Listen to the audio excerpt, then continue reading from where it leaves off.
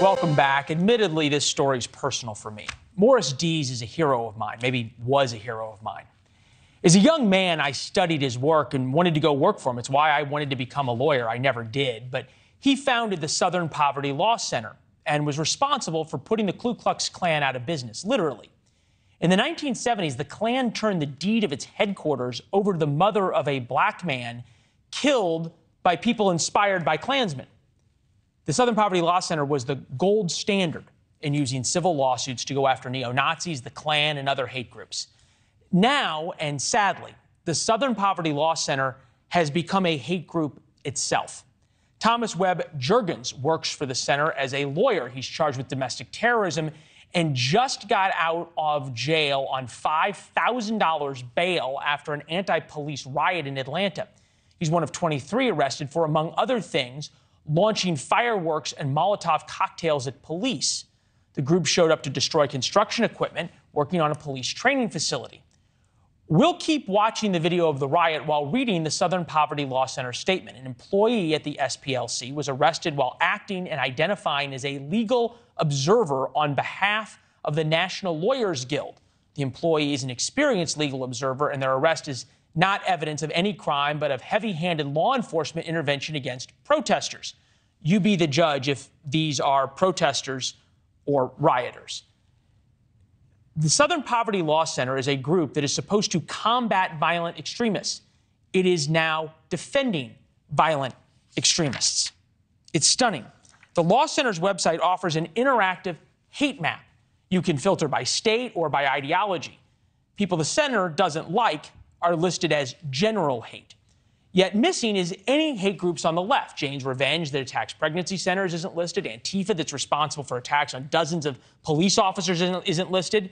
None of the groups involved in the Atlanta riots are listed. Erick Erickson's here, nationwide syndicated radio host, writer of the internet's best conservative newsletter. Erick, it's good to see you. Look, I've, I've admired you for a long time.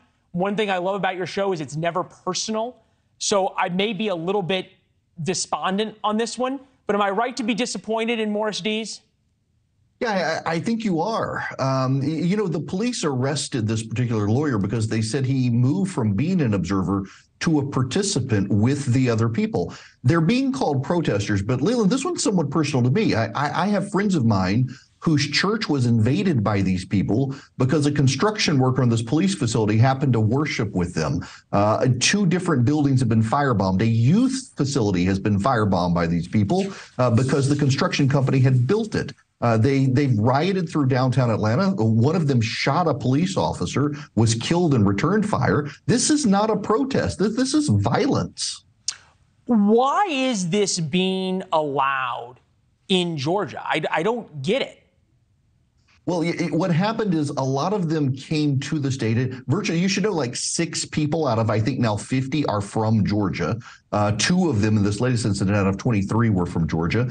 They came in peaceably. They set up shop. They they kind of started squatting on the land peaceably, but it turns out they were working to booby trap it. I mean, they literally have pipe bombs around trees so that they can't go in and clear cut the land to build this new police facility. Uh, they only got violent once they got entrenched. Everyone ignored them while they were violent. Well, now it's they're having to root them out, and it, it's become trouble. They've mm. booby trapped the land. They even dug pits and set fires, hoping to have firefighters fall into the pits.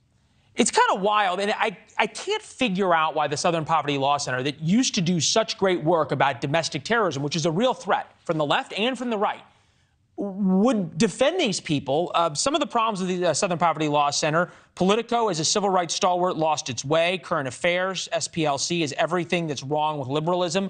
Washington Post, the state of hate. New Yorker headline, hardly a conservative group, the reckoning of Morris Dees in the Southern Poverty Law Center. The Law Center has a way of turning idealists into cynics.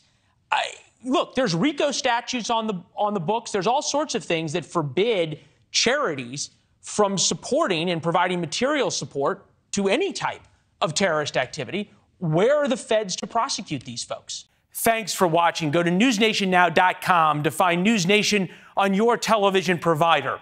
And don't forget to subscribe. Click the red button to get more of News Nation's fact driven, unbiased coverage.